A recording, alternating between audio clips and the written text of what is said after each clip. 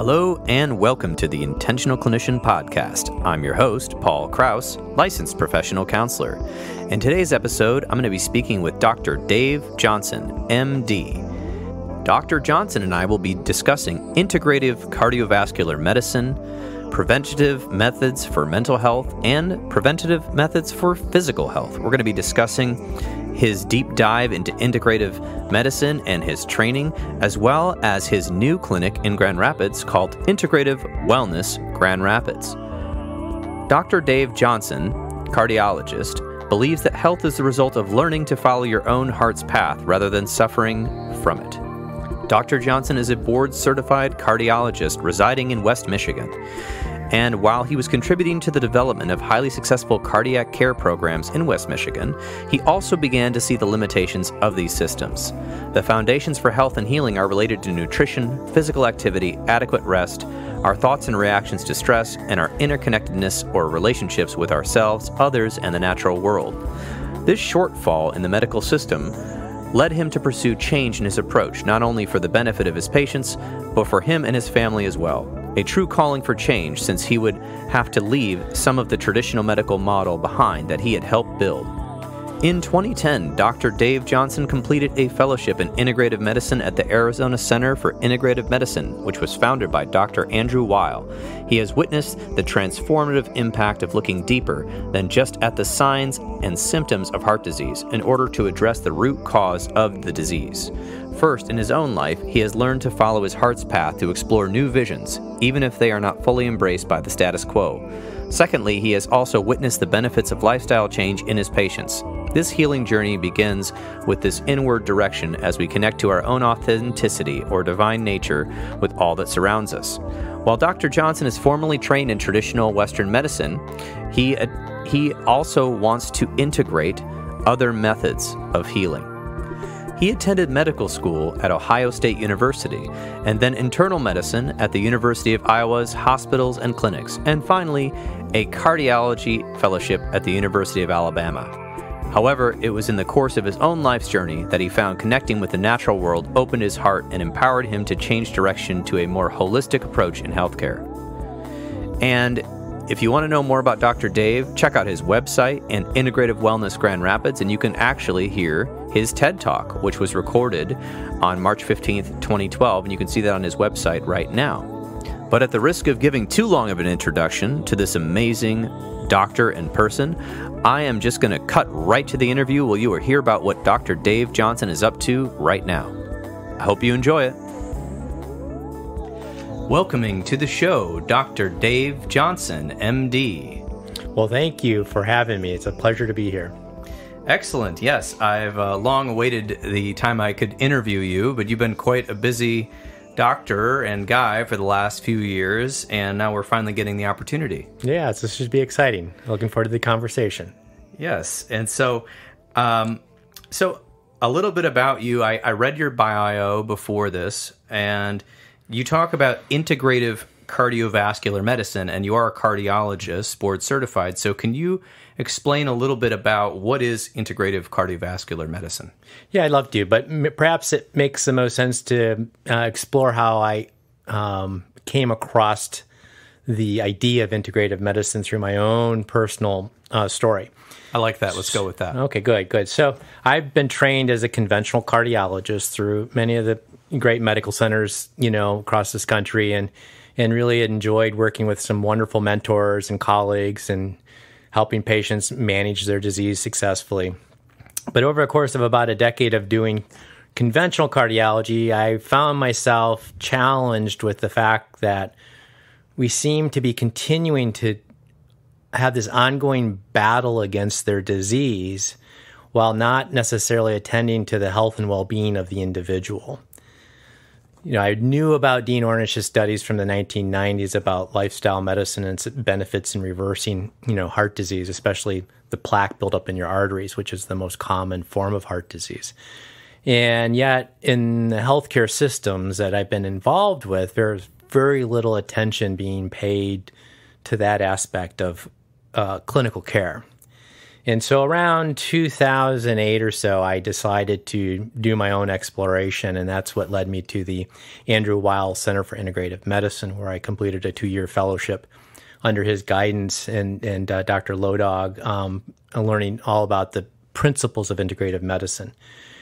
Uh, it's much more patient centered, much more holistic in its approach, and it's multidisciplinary, meaning that there is no single model of healthcare that um, has the unique capacity to serve all circumstances that an individual may be challenged with. And so that was a very eye opening um, experience for me. Perhaps the not only experimenting with some of these practices like meditation, energy medicine, manual therapies like um, strain, counter strain, and manipulation. But nutrition was really big, and and um, it was my first opportunity to really explore stress management through uh, mindfulness meditation. Those two things to me resonated very well with where I was at and what I needed in my own personal life, as well as what I could provide the patients or clients that I was seeing. Excellent. Yes. Um, so it sounds like you you went on this journey because what you were doing uh, as a doctor was basically just fighting this disease, but you weren't perhaps having the opportunity very often to sit with the individual and try to find out how they could prevent themselves from actually ending up in your hospital or practice. Is that what I'm hearing? Yes, there's a high um, recidivism, if you will, recurrent rate of um, interventions or escalation of medications in within most clinical practices that are in conventional medicine to date. It's the layering on of more or newer medications. And at the same time, you hear the frustrations of patients taking the number of pills that they're taking and the frustrations of cost of all these new drugs and their growing mistrust of a potential conflict of interest that they perceive physicians have with the pharmaceutical industry, even though that's not a real conflict of interest. Because as a physician, I never get kickbacks from the pharmaceutical industry by writing prescriptions but patients perceive that, and and so there was a what I appreciated was a um, diminishing trust uh, within that model of healthcare, and at the same time, I was uneasy again with not being able to provide patients the comprehensive health care that they need. You know, we were doing great again with disease management, but uh, optimizing health and well being that was a whole nother missed opportunity, I think, in many circumstances. The patients that I did take care of that would listen to some of the comments I would make about eating healthier, moving more, managing stress, improving relationships. When they got it and they did it, it was amazing to see their transformation and their growing independence rather than dependence on the medical system. And that's at the end of the day what really drew me towards integrative medicine, a model that really restores the empowerment for individuals to manage their own care. There's a phrase that's used in some some areas of medicine where you know self-care is becoming the new primary care. And I that really resonated with me because so much of what we treat in modern medicine today is either preventable and possibly reversible at the same time. Yeah, I don't know the statistic, but I was reading uh, a story on one of the major news channels that said most of the top five or six causes of death in the United States were preventable diseases, or like five of six, or something like that. Yeah. Yeah, most at- of it being heart health and weight and diabetes and uh, suicide, something else. Yeah, absolutely. And and if you look at uh, data about heart attacks, I mean, you can. There's plenty of data out there now that support that 70 to 90 percent of heart attacks can be completely avoided through lifestyle and behavioral modifications.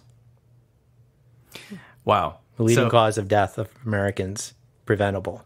Wow, and so the, the hard part is is that the reason there's many reasons people may not want to change what they're doing, and there's a lot of incentives not to change. Yes. And I think that comes from you mentioned uh, in another conversation with me the cultural normative situation that people find themselves mm-hmm. in may actually lead them to make choices that are very unhealthy. Um, for their overall lifestyle for the long term. Yeah, I think by and large, people are aware of what healthier lifestyles can do, but they may not be as aware of how dramatically changed our lifestyle has become over the last 50 to 70 years.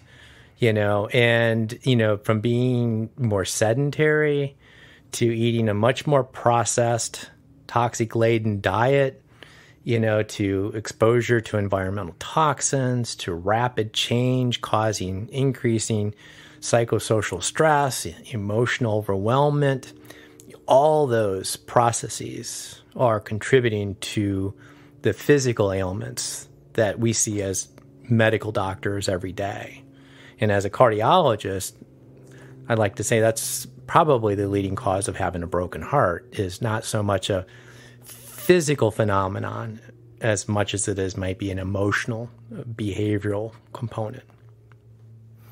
Yeah. So, what are um, you know? I know that you say people are sort of aware of it, but it, it seems like in America, not everywhere, but there's a big cultural component that sort of likes to embrace unhealthy on on purpose, yeah. like sort of uh, as a badge of courage to say, well, you only live once, you might as well eat these triple bacon cheeseburger with a shake and mm-hmm. fries and don't sleep and drink five hour energy. There's sort of a uh, something where people sort of take that on as a sort of a masculine. I, I don't want to say masculine. That's not all men, but yeah. um, sort of like this courageous thing they're doing to harm their body because they can take the punishment. What What are your thoughts about that? Yeah, I, th- I think you're you hit it right the nail right on the head when you said masculine not masculine as in gender, but right. masculine as an archetype, you know, as a way of acting and perceiving and doing. And that is this idea of being strong and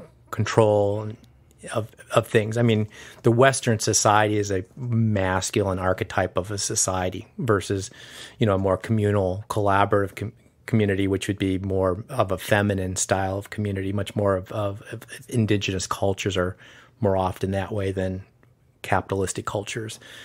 And so there is that component that drives behavior at a subconscious level, I believe. And there is also many industries, whether it's the uh, food industry, the fitness industry, you know, the medical ind- these industries that have secondary gains that exploit, you know, the vulnerabilities of us as individuals um, that are as equally problematic to the what appears to be choices people are making. I don't know that people make choices every day based upon what some believe. Some believe free will is operating all the time. But I think opposite that I think most of our decisions are guided by other processes, uh, different levels of consciousness rather than just pure free will. Right. It's almost as if the marketing structures and the busy lifestyle and the stressful cultural changes and the environmental toxins are all kind of working together and people don't realize that they've been shaped they've been changed. And i think a, um, an easy example of this is anyone who was born um, before the 1990s or maybe before where you grew up without a cell phone or a computer in your hand and now here we are in 2021 with uh, my cell phone has as much computing power as my laptop, and I can communicate with people across the globe. I can read instant news. I can check all mm. of my most of my bank accounts or you know personal things on my health stats online.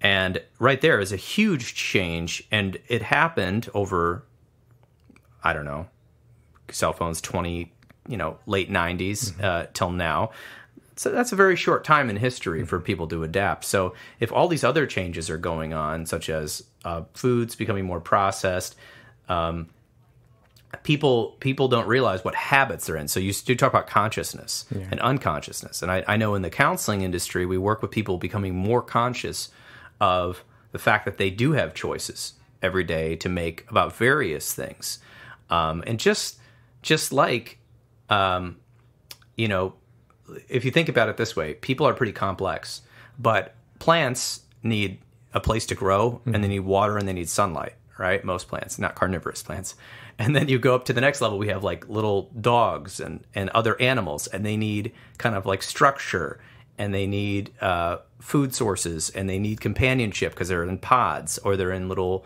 packs right well humans we're all part of the same uh, you know part of we're all part of nature and so we forget i think about these baseline things like do we get sunshine or are we in our office all day on our computer? Are we drinking water? Are we drinking some sort of processed mm. sugar drink? Um, are we having structure where we have exercise and move around? Are we are we sleeping? Are these like basic mm. things that get missed because of whatever story we're telling ourselves, the right. deadlines, uh, something I've got to do, something I should do, something everyone else is doing that I'm not doing um, these sort of narratives we get into, and some of that is fueled by ourselves, but some of it's fueled purely by marketing. Mm-hmm. I had a client once tell me, he said, "You know, I know that you've worked with people with drug and alcohol addictions, and I don't drink or smoke, but I'm addicted to fast food." And he goes, "It's." He says he feels like it's worse because his drug dealer is legal, and they're on every corner and he suffered multiple mm-hmm. health problems because of his fast food addiction. So it, it's interesting, you know, and and of course that's not demonized. That's seen as right. convenient, helping him get to work faster, um, and you know, uh, but eventually killing him. You know, getting worse and worse health wise because of this. Uh, versus you know the drugs, which are also you know yeah, yeah. justifiably demonized, but in the alleys. So, uh, can you talk a little bit about that and how how does that impact the way you work with clients? Yeah, yeah there's a lot to unpack there. yeah. the um, but I I try to try to keep things simple. Okay. You know, so um, you know, there's we really have two ways of of interacting or or uh, that dictate our behaviors. Uh, one is reactive, where we're kind of an autopilot and we're just doing things because that's what we do, you know. And the other is responding, and that's when you have choice. And so when you're looking at behaviors and patterns of behaviors, I think you have to look at what's the driving mechanism. Is it a reactivity response or is it an intended response? And and when we're living in a period of rapid change, we're often, you know, living in an um, era where our amygdala, you know, our fight and flight control center is in hyperactive mode and is very incoherent, if you will, with the heart rhythms of, of our electrical heart rhythms. And, and that leads us to responding in a very uh, reactive way where we don't seem to have choice. You know, and yet, you know, there are practices and therapies and, and other avenues to help people get out of that place and into a place where, you know, in the moment to moment awareness, they can choose to respond differently. There's always going to be a choice for a reaction.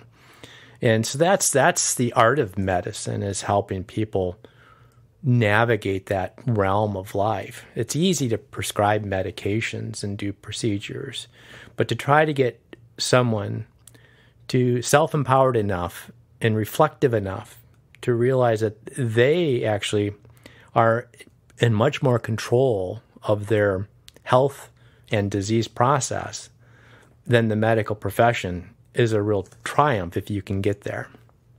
Yeah, I was going to say, I mean, I think, I don't know what this is from, but sort of like folklore around doctors knowing everything mm-hmm. and that they they do know a lot more than the general public, right? Yeah, yeah. But the things that the doctors could empower patients to know, they don't have as much time to tell them because right, right. they're busy fighting their disease. They're busy prescribing to help them alleviate symptoms or right. stay alive and put them on a statin, right? So they don't have a, another heart incident.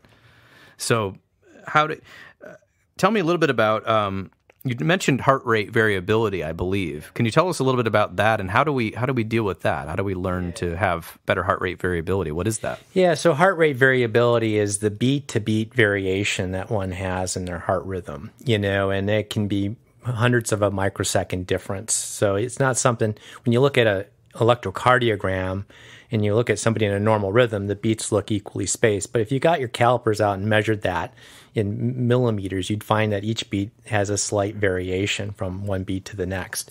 Uh, that's different than, say, an irregular rhythm like atrial fibrillation, which has a lot of heart rate variability just because it's no longer in a normal rhythm. But there have been many decades worth of research looking at heart rate variability as one of the um, best predictors of uh, premature mortality. So the the less heart rate variability you have, the higher your risk of cardiovascular disease and premature mortality. It's reflective in the fact that when you're in a stress response and your autonomic nervous system is firing in a stress mode, producing lots of adrenaline, that the heart rate variability goes down. At the same time, as we all know, when you're in a stress response mode, you're in a very reactive mode. You're in the fight, flight, or flee or faint response mode, and you're not tended to be thinking and contemplating what to do next because it's usually a life threatening situation. Unfortunately, for many of us, the rate of change that we're experiencing in many different domains in our life have contributed to us to being in that state chronically. As a result of that, heart rate variability goes down and uh, the, the risk for heart disease is going up. So the Institute of HeartMath has been studying this for several decades now, and uh, biofeedback techniques and other resources available to people to kind of self-monitor their own heart rate variability in a way that can help them better manage their stress. The theory that they've uh, created was that there is an energetic heart, and it's there's uh, uh, electromagnetic radiation from the heart that can extend about five feet outside of your body. It's the strongest electromagnetic field in the body, more so than the brain. And the theory that they're trying to uh, prove is that it controls brain activity. It can control, in terms of a certain frequency domain in the sympathetic nervous system and parasympathetic nervous system. And so the feedback in the relaxation, heart centered relaxation techniques they do show an increase in coherence, meaning that you have entrapment or entrainment of the autonomic nervous system, the endocrine system, all these what they're called oscillating systems, systems that have an inherent frequency to them. It gets a little technical because, again, everything in our body functions at a resonant way, it has a frequency. And so, if you can get these frequencies to be much more uh, synchronized, you are actually in a state of better health, both mentally, emotionally, and physically, and potentially even spiritually. That's the theory that HeartMath is working with, and their techniques are used and available to the public to, to practice and play with. Yeah, I understand that HeartMath had developed some computer and phone applications mm-hmm. where you could actually monitor your pulse mm-hmm. and breathe naturally and eventually see if you can get to a, like what they call a coherence mm-hmm. of heart rate variability yeah. where things are differing. Yeah. And I did actually play with that program and what I found was it was similar to mindfulness meditation, mm-hmm. but it was basically just me focusing on my breathing mm-hmm. and trying to not do anything, trying to not try. And eventually it made a lot of good noises and I was like, "Oh, I think this is like a fun video game. I'm I'm getting more heart rate coherence here." Um, but the investment was time and space to actually take 15 minutes to play with this program they made and this uh, heart rate monitor. Yeah, another beauty thing, and, and it does, and, and, it's so it is. It's a technique, mm-hmm. much like other biofeedback techniques are available as well you know, but it's what I found for myself when I used it was I was already starting to do a regular mindfulness meditation practice. And I thought I was coming, doing pretty well, sitting 20, 30 minutes at a time without any major challenges other than knowing how the practice works and how you have to come back to your, your mindfulness um, uh, process. But it was HeartMath in this idea of really sensing into what appreciation, love, joy, gratitude feels like in your body in a heart focused way. By recalling a time or an experience in your life or a person, whatever, that brings one of those emotional states appreciation, love, joy, gratitude to mind, and then really beginning to experience in a heart centered way and what that visceral sense of those emotions are. I found that I got into a deeper state of meditation, and what I may have been doing, I was doing during regular meditation was just dissociating. Oh. You know, going into nana land, you know, and mm-hmm. and so it really allowed me to become much more viscerally aware of the emotional capacity within the body. That, you know, I think we as men often are raised in a specific way to kind of deconstruct that or detach from that. And so uh, that was the most powerful thing I uncovered with heart math techniques was that recapturing of that aspect of heart awareness, being in the love, joy, appreciation, and gratitude. Yeah, it reminds me of some of the research on um, mindfulness based stress reduction that talked about how if people were able to get into a state of, you know, doing this mindfulness activity for 25 minutes, all of a sudden their creativity, uh, thoughts return, their emotional well being increases, different things mm-hmm. like that. So let's talk a little bit about that and how. Um, how often, or you know, what do you see with with with people who have health problems also having emotional unmet needs mm-hmm. or or issues? Yeah, you know, it's it's it's always hard uh, to kind of look at cause and effect for sure. Mm-hmm. But we do know that most cardiovascular disease has an emotional con- contribution. Um, perhaps its greatest data, and I still think this is so under recognized, is the adverse childhood experiences. You know, as you know, as a therapist, I mean, the first 10 years of life really set up coping strategies into adulthood and and and lead to addictions and other things. And so these traumas and and experiences of family disruption or neglect or unintended abandonment, you know, all these things, you know, in modern society are fairly prevalent because of the demands that our I would say unhealthy society is placing upon or expecting of families today compared to 100 years ago and the, the different demands. And and so again the rate of change that people are experiencing is unprecedented.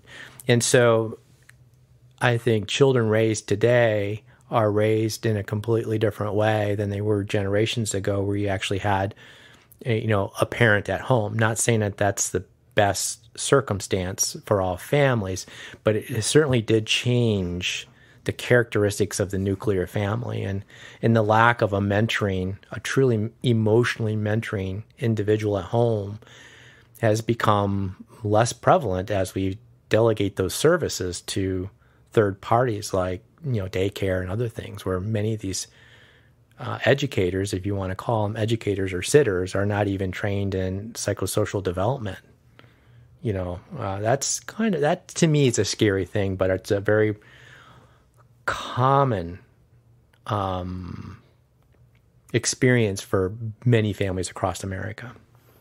Right, and that is often driven almost, in my opinion, a little bit more by the market circumstances yeah. than it uh, than it is cultural. Yeah. Uh, but then the market becomes the culture, mm-hmm.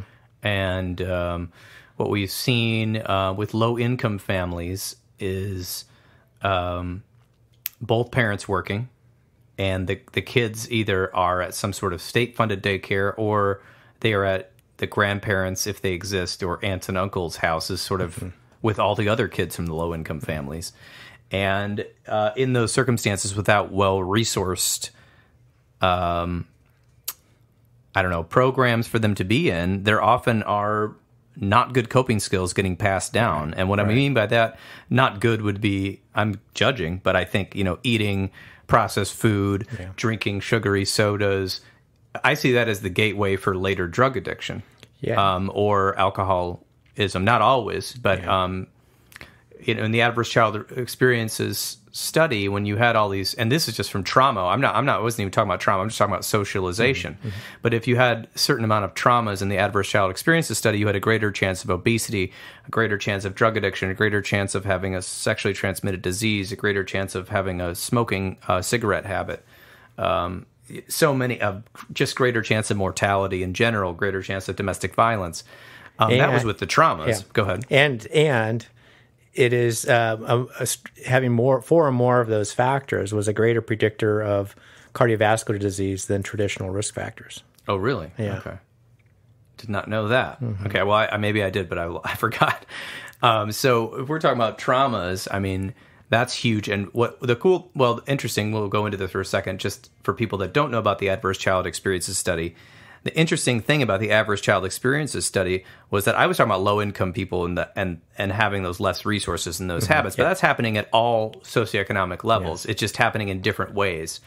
But the adverse child experiences study was actually done on middle and upper middle class mm-hmm. individuals mm-hmm. who and it kind of tore the mask off of this idyllic childhood fantasy that we've sort of cultivated in some sort of wing of our culture here. And um, and people were reporting you know physical abuse sexual abuse um, spiritual abuse you know through uh, clergy at church uh, or, or whatever synagogues and um, just all sorts of things. And the researchers at Kaiser Permanente in, in San Diego were just astounded by what they were seeing because they had they had predicted. I mean, their prediction rates were so off Yeah. about how many uh, of these incidents were going to be reported, and then they followed these individuals for years and sort of had health outcomes, and it's it's morphed into larger and, uh, and other studies as well. Yeah. Um, but it's it's a pretty accurate Yeah, and, not all these um, experiences are traumatic in terms of like a PTSD like trauma. right. So they're uh, they're and many of them are not intentional. That's just the the dynamics of what these kids were placed into during their their rearing stages, and and again, uh, maybe mostly that the you know families had disruptive environments for a variety of reasons, but the the the biggest uh, challenge for them was that they did not have the resourceful person that could help them integrate their emotional experience, you know, in a way that um, allowed them to process that in a holistic way. That's from a, uh mental, emotional, and physical way. You know, um, not telling them how what their emotions are for sure, but but how to just process and be aware, nurture, support in a loving way um, that they could heal from, and rather than suppress it and learn to repress it for later aspects in life, so they didn't re-experience those symptoms, those feelings, and that's where we run into problem with the childhood adverse experiences.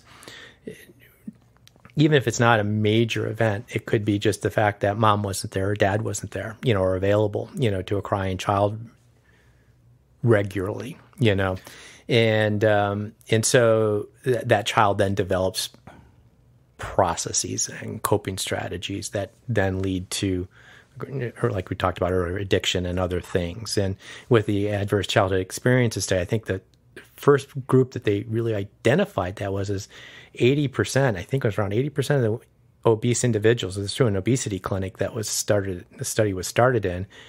80% had four or more adverse childhood mm. experiences. Mm-hmm. And, and these are women mostly women who had challenges with weight loss reduction programs Right. And I think some of the questions were just something like Did a member of your family experience like significant financial issues? Yeah, and, and the parents would say that around the children and be stressed out about it. I mean, just even that. divorce, separation, incarceration, mm-hmm. drug, alcohol use in the family, you know, all those were part of the questionnaire. So not just physical, sexual, emotional abuse. Right. And so it's, um, well, in the mental health field, we're quite aware of, and, uh, uh, and we read a lot about studies about how if you can help somebody move through depression or or recover from a major anxiety episode or or work through the post traumatic stress disorder or deal with an adjustment. Mm-hmm. You know, an adjustment uh, meaning that you move or something big happens, a divorce or um, you know a challenge at work or something large happens and you have a huge disruption in your life. If you can help them move through that, but then help them move further to a place where they're actually doing preventative mm-hmm. mental health practices, um, the data is still coming in, but it seems that they then often start taking care of their physical health better. Right. Um, yeah, and I think that's that's a key to healing. You know, uh, and that's part of the self care. You know, when when I mention self care, it's easy. Well, I, I have to eat better, exercise more, sleep better. No, you have to take care of yourself. You know, you have to have time alone to reflect, meditate, manage your own personal inner self, as well as being outside, enjoying nature, connecting with nature, connecting with humans without being plugged in all the time.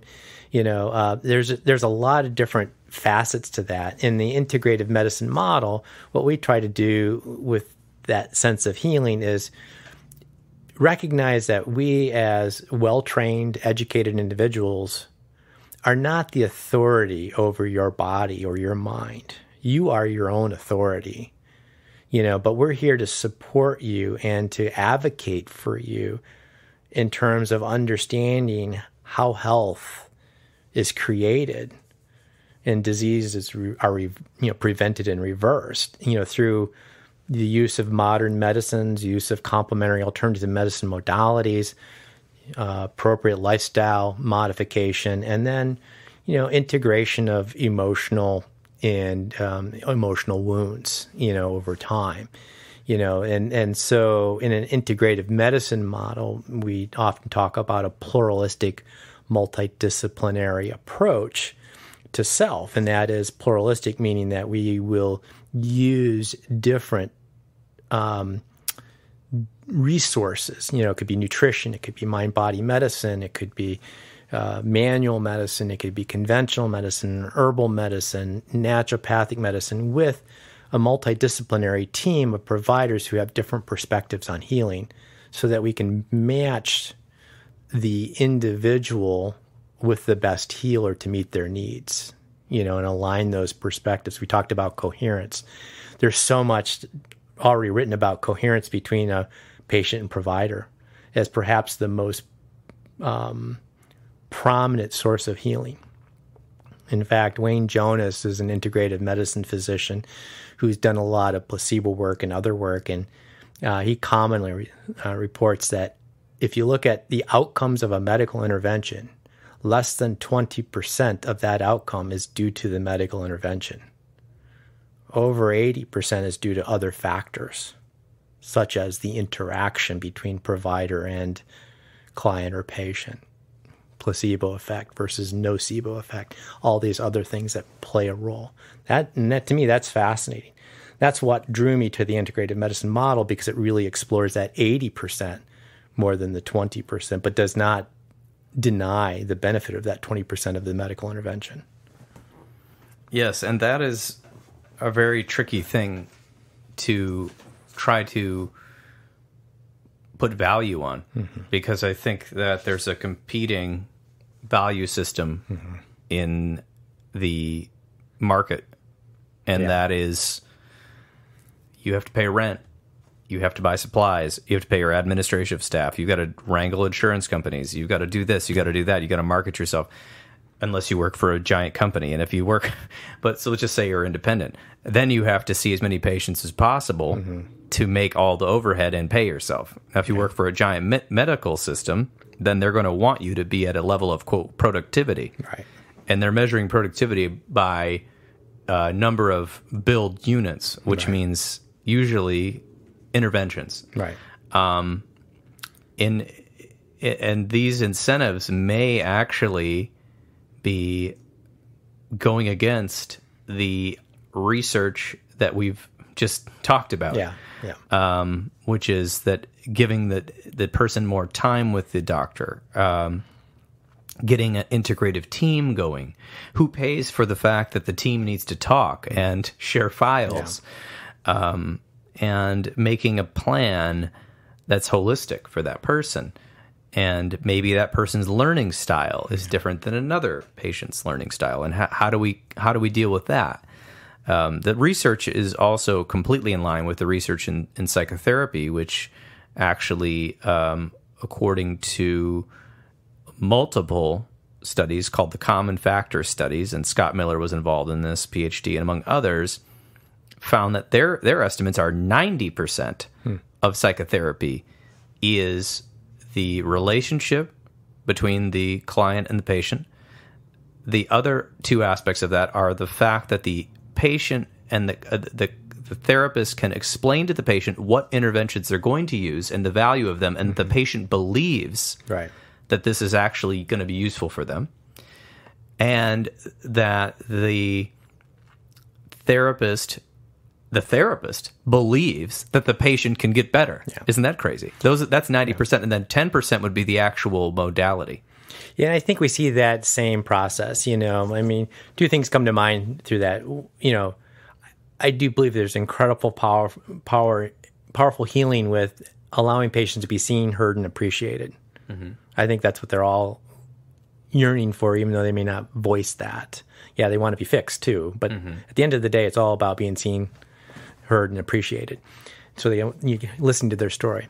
But even in medicine, you know, we have this idea of complementary alternative medicine and then allopathic medicine. And if you look at, and I've had uh, about 10 years worth of experience working now within the complementary alternative medicine field with different practices and different practice arrangements and different providers. In the vast majority of these practices, whether they're naturopathic physicians, integrative medicine physicians, or functional medicine physicians, the vast majority of them are spending more time with patients per visit than the conventional practice, than what the conventional practice has become. Not saying that that's not evolving because that is evolving, but as a way most people perceive the conventional practice is a 20 minute visit, you know, sign off on the signatures uh, for prescriptions and out the door you go as a patient, right? So in the unconventional practices, you know, as you alluded to, there's the idea of trust between the provider and the patient, the idea of being heard and listened to and appreciated, and then understanding the choices and understanding the passion behind the intervention being offered, those are all pretty incredibly powerful things. I brought up the term nocebo. That one of the problems with conventional medicine is that we have to disclose adverse events that might be associated with a particular intervention we talked about statins, or you mentioned statins earlier. There's there's these now new trials. They're called N equals one trial, where you use yourself as a control. Hmm. And and they did studies where they looked at you know Lipitor versus placebo versus no drug in patients that had muscle aches with the statins, and and so they they had recruited these patients. They took them off, washed out the drug, and then they randomized them to no drug, placebo, or the Lipitor. I use Lipitor as a generic name, a statin. And patients could not differentiate. They had their muscle pain, regardless of whether they were taking placebo or the statin, and they didn't have it when they were taking the non drug arm. Okay. Equal amounts. Mm-hmm. And so that's the nocebo effect. In other mm-hmm. words, they anticipate they're going to have pain, or the belief is that there's pain related to that intervention, and it occurs. Wow. Whereas um, we could get into a lot of different therapies that are prevalent right now with COVID, but you know, a lot of the treatments that are being offered, say as an alternative to, co- uh, to as an alternative treatment for prevention and treatment of COVID, right now are coming at the same direction. In other words, they're being offered as a service with very low toxicity and and a very beneficial response. Um, yet the, there's no very few randomized controlled trials that show benefit. So when you offer the, the plus to a selective group of people who have already developed a belief system around that way of treating, there is going to be a huge placebo response, or often referred to in academia as enhanced placebo reaction. And and that's not a bad thing as long as there's no toxicity behind that, or there's no other kind of um, unintended or intended, I should say, uh, processes involved in those decision making, such as profits and right. other things that have become prevalent in many different markets in healthcare. Does that make sense? Yes, absolutely. Um, I know you aren't fully naming those treatments just because yeah, that might be yeah, a whole yeah, other yeah, yeah, ball a, of wax, but um, it does remind me of the study that, I think there's a Harvard Department of Placebo Studies now. Mm-hmm, I don't know. Mm-hmm, yeah. about the study, and I've quoted this study before, so the listeners will have to forgive me. But uh, with the uh, the knee surgeries, yeah, the sham knee surgeries, right? They did the fake knee surgeries and the real knee surgeries. And the people with the fake knee surgeries recovered faster, quote unquote, because they were doing all the physical therapy that was prescribed as the six week post care or whatever yeah. post op requirement and the people that had had the real knee surgeries were having so many problems with yeah. pain because they had had they had had their knees cut into and really what it was is they probably had needed most of them not all of them yeah. a, a, a, the, the percentages obviously there's some people with complete you know bone problems or right. whatever but the percentage was that like the the largest percentage of them actually probably just needed to move around and have physical yeah. therapy yeah not have surgery so and i know you i don't know if you're familiar with dr sarno and the the uh the unnecessary back surgery studies. Yeah, not that one. I, the one from cardiology is pacemakers. Okay. Yeah, yeah for people who have um, uh, vasodepressor syncope, you know, um, who's who pass out, you know, and right. uh, and they actually did a study where they put the pacemakers in, but some of them weren't programmed to be active, and some were programmed to be active in a randomized way, and that led to a, a huge change in behavior because they found that the pacemaker didn't protect the patient. Mm. Whereas at a time before that trial, patients were routinely getting pacemakers for this particular phenomenon called uh, vasodepressor syncope. And uh, now we know that very few, there are responders that do need the pacemaker, but clearly there was an excess number of pacemakers being put in with the belief that it was helping. But when they did the, the sham operation, there was no benefit. Wow. So there's a lot to this that gets complicated. Yeah, so yeah. I want to. I, I, I think there's a lot of studying people can do on these yeah, sort of things. I want to. I want to make sure we get back a little bit to um, a little bit what, about what you're doing now and with your the integrative cardiovascular medicine. What I understand now is you've you are owner and starter of a clinic called Integrative Wellness Grand Rapids, where you are um, supervising some other doctors and um, integrated practitioners yeah. yes. um, to work together as a team. Can you tell me a little bit about that and your approach? yeah. Yeah, so um, again, my observation has been that there's an increasing demand for additional complementary services to the allopathic conventional healthcare system. People just are not getting all their um, answers through that system, and um, and especially with the extent of media coverage from A to Z and beyond in terms of ideas of how people can heal. You know, people are much more loaded with information about you know well, what does this really mean to me? And what else can I do for, to restore my health and well being?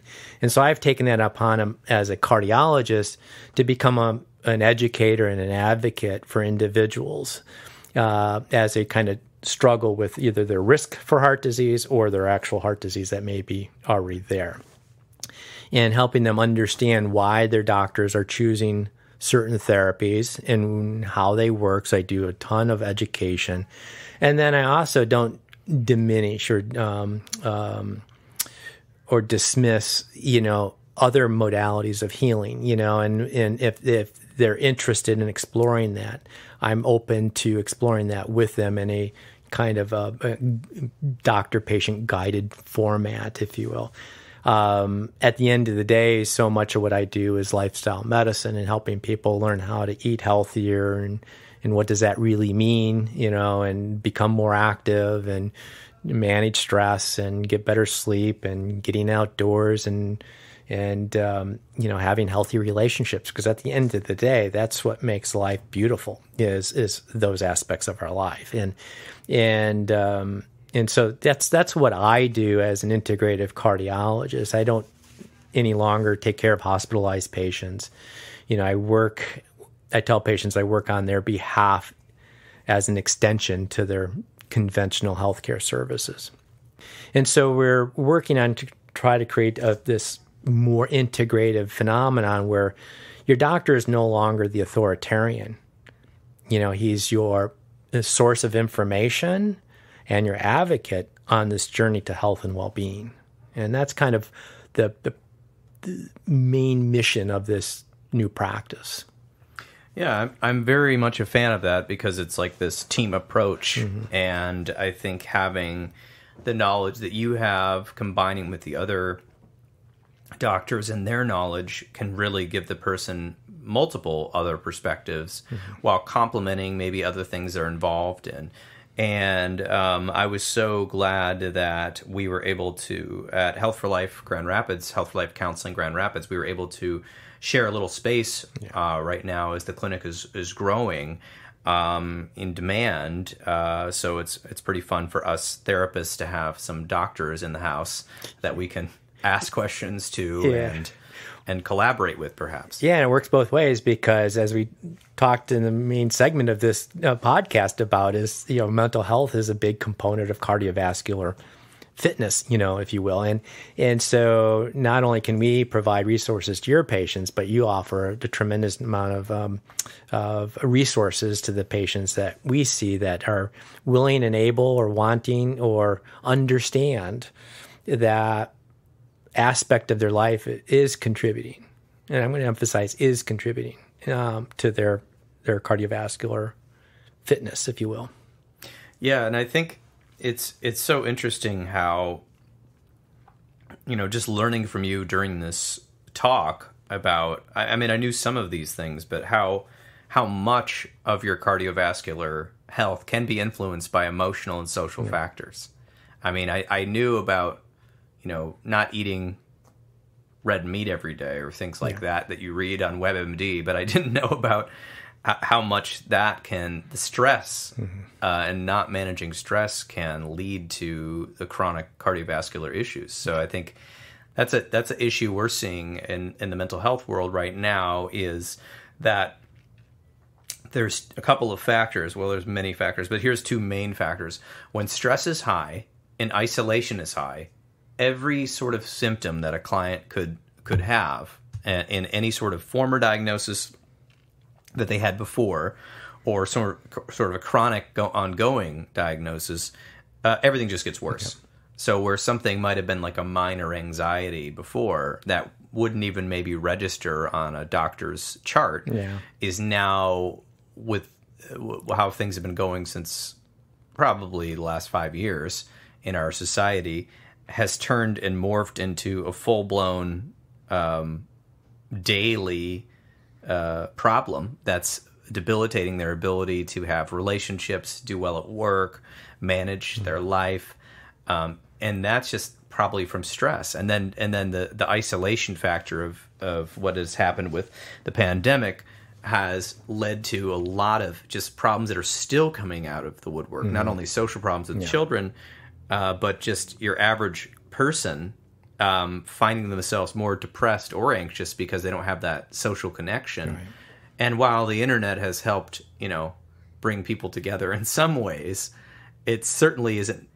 I don't think making up for the more natural right. gatherings right. Um, that because you can. There's a difference in feeling that people report. Yeah. Um, although better than nothing. Right. Right. Right. yeah. So yeah. So yeah. And social determinants of health. I mean, the World Health Organization recognizes that that's the primary cause of chronic disease. You know, and and uh, whether it's socioeconomic status, whether it's isolation, whether it's uh, poor education or lack of healthcare access, all these factors. At the end of the day, it's interesting how we still lump, you know, in the post Rene Descartes, the Cartesian world that we live in, where we separate mind and body, you know, many of us are recognizing there is no separation of mind and body. You know, they're pretty much one of the same thing. And similarly, I would like to say at some point we get to the same way with mental health versus physical health. Mm, yes. Because it's just health and they're intimately engaged in conversation and a two-way streak and and when we start to do that and then start to deal with the social determinants of health in a society that has growing segregation, growing divisiveness, growing socioeconomic disparities, you know, you know, we're right picking for continued escalation of chronic disease, continued uh, infiltration of opportunistic infections, and what have you, because that's that's the I mean it's a social determinant of health that's really disrupting our resiliency, and until we can figure out how to engage that and create a more I hate to use the term egalitarian world, yeah, I think uh, you know uh, we're kind of stuck in a paradigm that uh, you know, uh, even though I got out of conventional medicine because I got tired of just putting band-aids on, I still feel like I'm putting band-aids on when I even take this holistic model because there's so much. It's almost very Sisyphean. In other words, in trying to push that boulder up over the mountaintop and it just keeps rolling back down because there's so much out there fighting that change to add resilience to uh, the human species. But if you ask me at the end of the day what keeps me going, it's the people who really get it and they make steps on, for themselves. And you just watch that transformation. You see it as a therapist when they wake up and that light comes on and there's a new glimmer in their eye. There's new hope, you know, you know, for what's what tomorrow brings. There's new excitement, new passion. Those are the things that really get me turned on about medicine is when you see that evolve with our clients. It's so much more important than what I prescribe, you know, on a piece of paper or now through an electronic health format, you know, um, uh, and so much more rewarding. Yeah, and I think that is important for all the clinicians out there listening to remember. Um, there are a lot of good stories that we have, hopefully, in our wheelhouse yeah. where people have been able to make the changes and graduate therapy. Maybe they're only coming to you once a year to check in, yeah. um, sending us an email or a postcard instead of you know coming in every week and uh, you know having chronic ailments. And so I think that's important to remember because that is a ripple effect. Yeah. Because those those individuals and families that that find these healthier preventative practices and, and implement them, mm-hmm. that's a that's an influencer on other people they might run into. Yeah, and so true. And and and I think the systems are getting it. You know, I mean, the American College of Cardiology, American Heart Association, American Diabetic Association, uh, all these major healthcare um, organizations are now, for instance, embracing a, a shift towards a more whole food, plant based diet as a way to maintain and restore health. I mean, that's that's relatively new. You know, American uh, Heart Association now really is promoting research and um, information to providers about the value of both emotional and behavioral health and its influence on cardiovascular disease. So, a lot of the topics that we are talking about, you know, are evolving, and the interest is gaining momentum. And alongside that, you now start to hear words like value based healthcare you know, which will be a similar format that involves how do we get people to heal rather than just treat based upon a, you know, ICD diagnosis and you've got a certain set of recommended interventions. That's not healing, that's treating. And then we're going to shift into a healing environment. And I, the systems, you know, move at a very slow pace because it's there's big systems with a lot of inertia. And and so, but it is happening. And uh, you look at Spectrum Health now that has their own lifestyle medicine program, you know, and they're uh, regularly, you know, have or prior to COVID, regular, you know, sessions on teaching people how to eat whole food, plant based, you know, meal plans.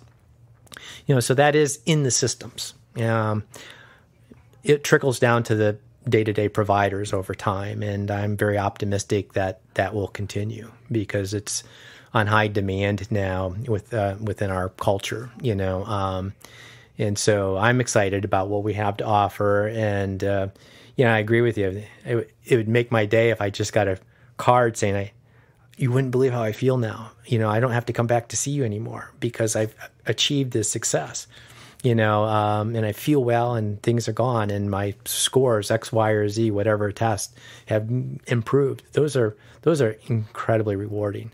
You know, much more so than having to you know manage people and their ailments day in and day out. That's important to do because a lot of people don't know or recognize how to make a change, or they just don't have the willpower or whatever it is. You know, they just can't make the change, and they're going to be in need of providers who can provide those proven efficacious therapies to to keep them to their state of wellness that they're currently in, you know, but there are as you know, growing numbers of patients and people in the population who are exploring health rather than disease. And again, that's the niche that we tend to fall and fill. Yes, I think there's a greater demand for it, and I think it, it depends also sort of where you're living and what's being influenced. Yeah. And I know um, in Arizona, I was talking about this earlier. Not that it's everywhere in Arizona, but maybe in the circles I hang out in, it's popular and and uh, sort of the trend to be healthy, to eat healthy foods, and to show that you're eating healthy foods and that you're not drinking too much or whatever. Yeah. And then here in Michigan, uh, we're Beer City, USA, yeah, in Grand Rapids, and there is an emphasis on uh, our great baked goods and our deer meat and our beer and, and our cheese and all these sort of things. And it's it's just interesting. And not that say those things are bad. It's just that if you eat them all day, every day, right. they will have health effects that are well documented. Um, and so I was just it's just interesting. But even here in Michigan, how people are looking for something, and I think there is a void in the market.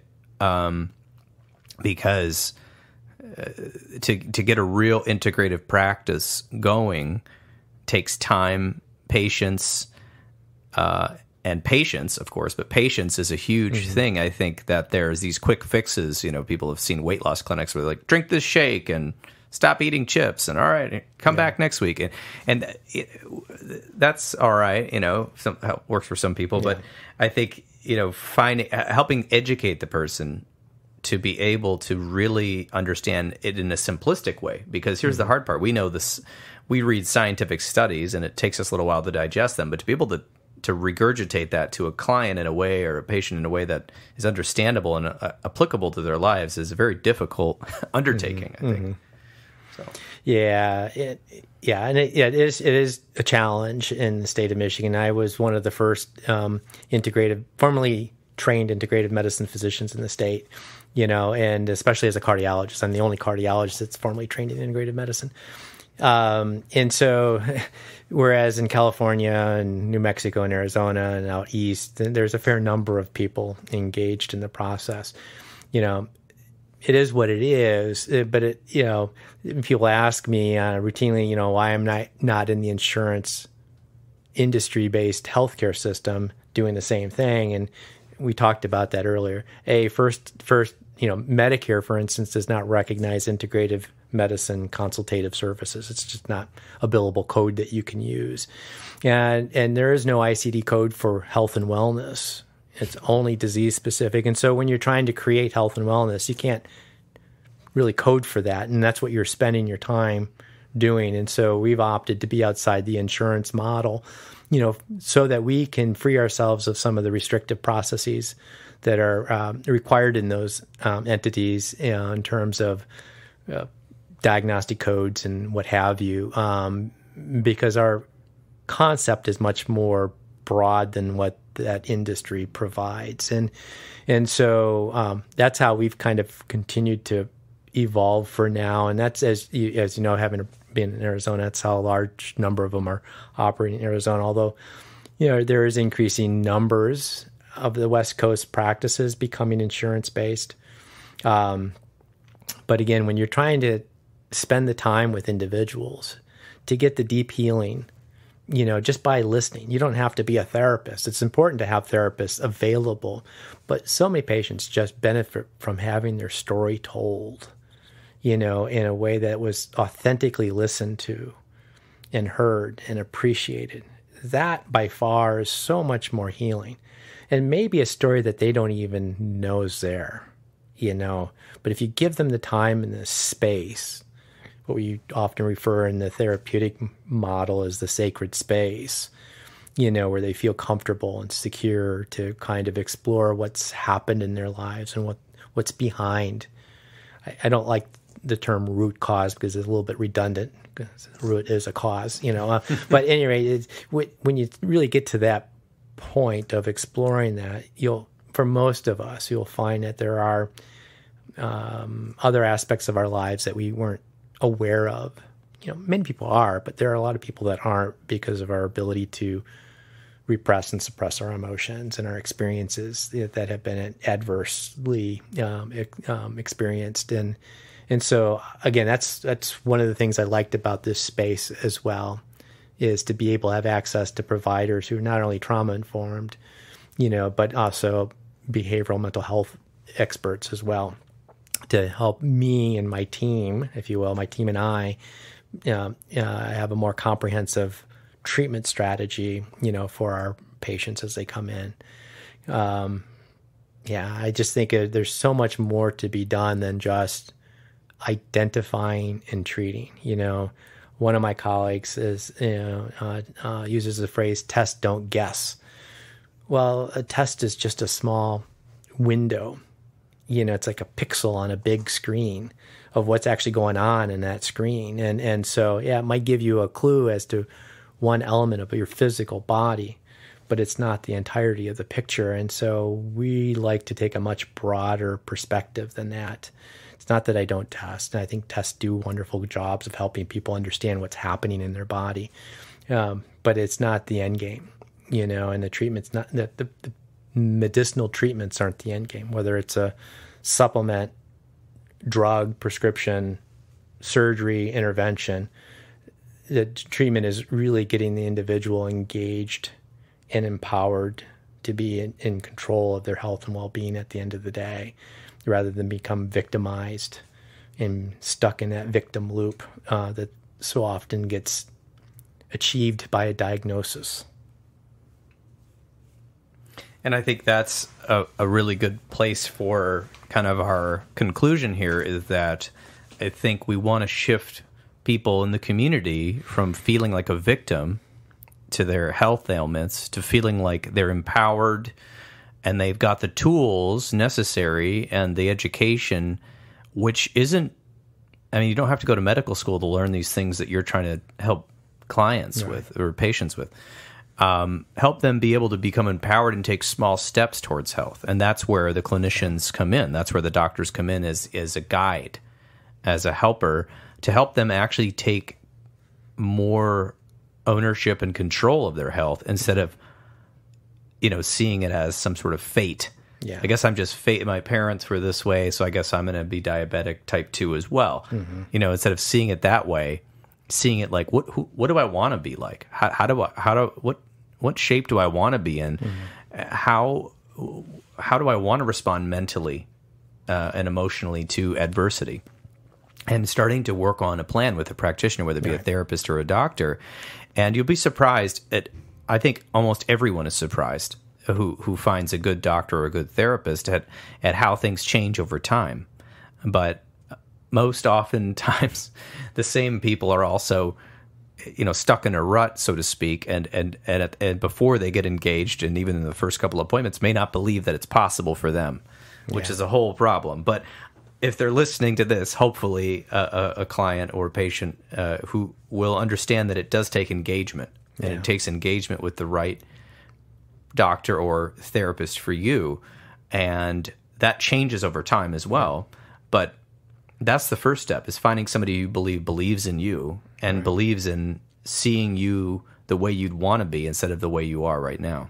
Yeah, and, and that's a, a yeah good thing to recognize is that yeah we're constantly changing and and even our own individual perspectives of what's happening in our life today is so different than 20 years ago because of our own maturation our own increase in wisdom and experience and things. Our perspectives are always changing. And and so you know capitalizing on that in a way that's beneficial to an individual so that they can recognize that change is inevitable and that you know they're in complete control of I don't want to say complete control but they're in control of that that change process of their body and their mind you know again which I often would say their body mind is one thing but you know it's so empowering just to get people to begin to recognize how important you know a good healthy lifestyle can be and and and, and how unhealthy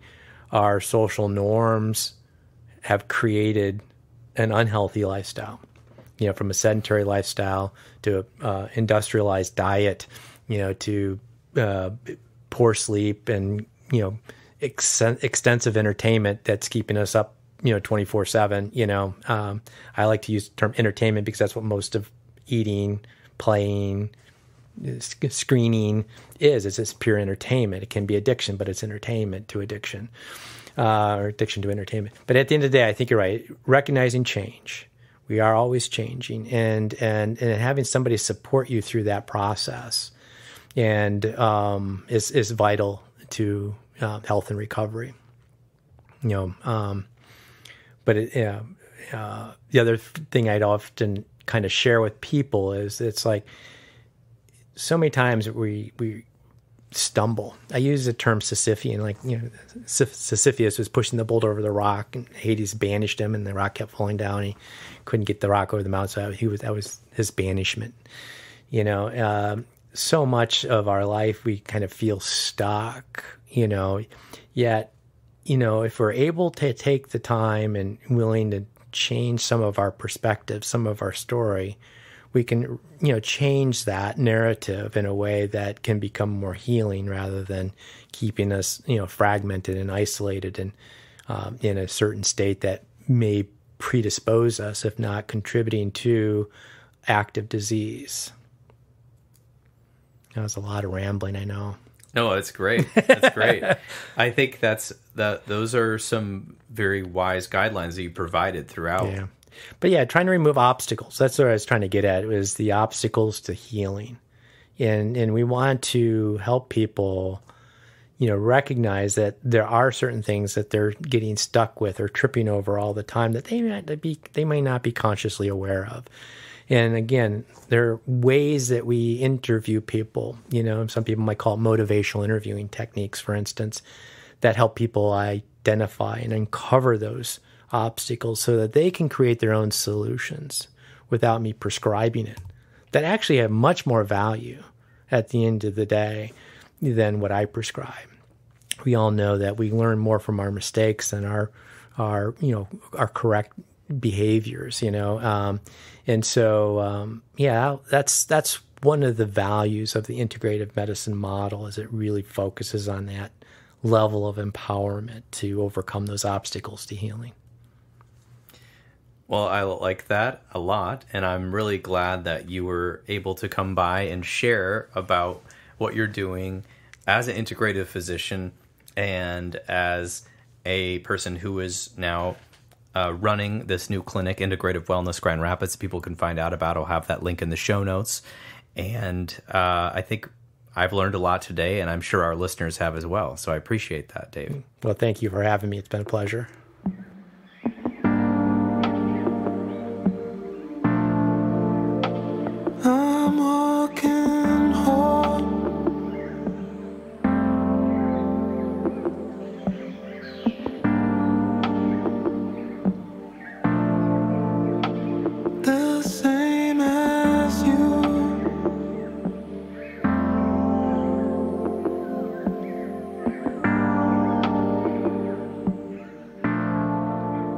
And there you have it. This has been another episode of the Intentional Clinician Podcast.